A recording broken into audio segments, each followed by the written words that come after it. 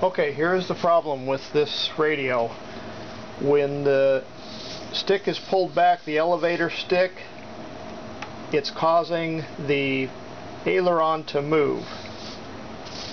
And if you watch the uh, in this, if you watch the diagram here of the radio, you can see that it doesn't come straight back.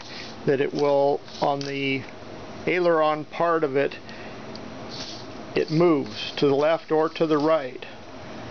Now if you go far left the cursor does not go all the way to the corner of the box which means it's not giving it the correct feed.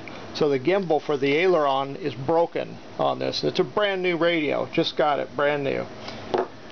So, and I have gone through the mix page and dialed in the mix so that on the mix there is it's done correctly and it's not coming through from the mix. And you can look at that on here when you see the radio. The channels are set up and there's no mix going to the aileron or the elevator so that is not the problem. The problem is that the gimbal is a poor quality. I'm very disappointed with this. I have uh, probably almost 10 radios. This is the first radio I've ever bought that didn't work. I'm very disappointed. Thank you.